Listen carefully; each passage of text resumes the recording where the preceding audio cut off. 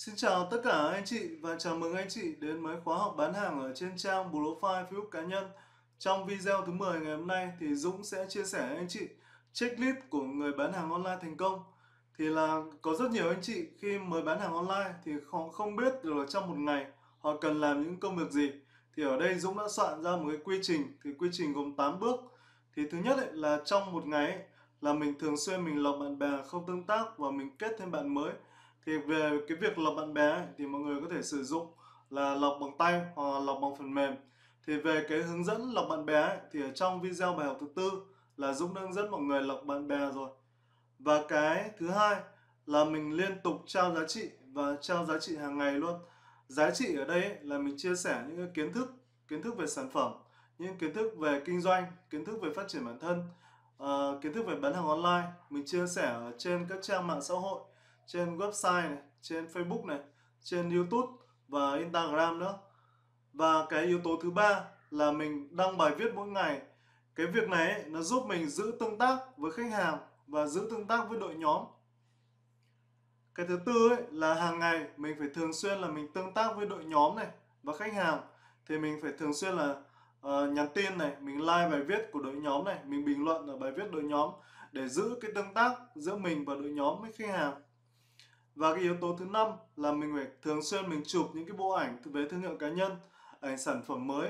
Tại vì khi bán hàng ở trên Facebook ấy thì cái yếu tố về xây dựng thương hiệu cá nhân rất quan trọng. Để xây dựng được thương hiệu cá nhân tốt ấy thì mình cần có hình ảnh và video tốt. Cái yếu tố thứ sáu là mình phải đặt được mục tiêu là mình tuyển sỉ mỗi tuần. Thì cái này ấy, nó phụ thuộc vào cái kinh nghiệm và cái năng lực của từng bạn làm hệ thống. Thì có người ấy, thì mới vào mới vào kinh doanh hệ thống thì họ chỉ thường đặt mục tiêu là tuyển hai xỉ mỗi tuần thôi. Nhưng mà những người mà boss lớn chẳng hạn, thì họ có thể đặt mục tiêu là nhiều hơn 5 người hoặc 10 người. Yếu tố thứ bảy là mình phải thường xuyên đào tạo kiến thức cho xỉ đều đặn.